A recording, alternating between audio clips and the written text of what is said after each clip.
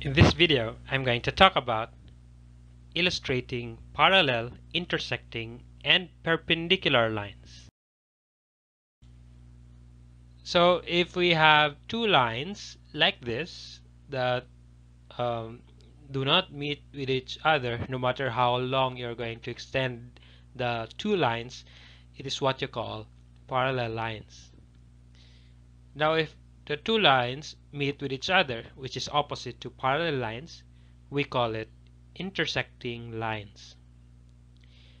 Now if uh, intersecting lines like this forms a 90 degree angle in the intersection point and we call it perpendicular lines.